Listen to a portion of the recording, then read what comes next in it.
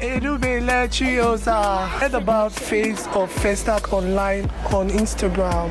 I I knew I was going to win. Yeah.